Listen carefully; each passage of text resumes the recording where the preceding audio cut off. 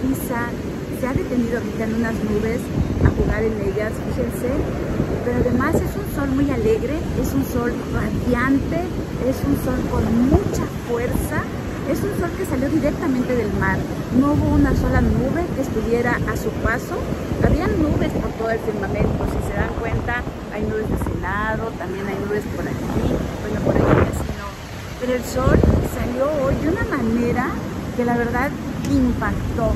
Es un sol que tiene muchas ganas de estar con nosotros esta mañana, de jugar, de, de, arroparnos, de abrigarnos. Hace un poco de fresquito para nosotros que vivimos aquí en esta zona, sin embargo no es, no es frío como tal, sin embargo esta, esta estampa tan maravillosa del sol me llama la atención porque realmente me parece que recibimos este año a un sol, a un sol, a un sol juguetón y eso para mí se va a quedar en mi memoria esta mañana del primero de enero del, 2000, del 2022. Para mí me trae cosas muy buenas, muy buenas.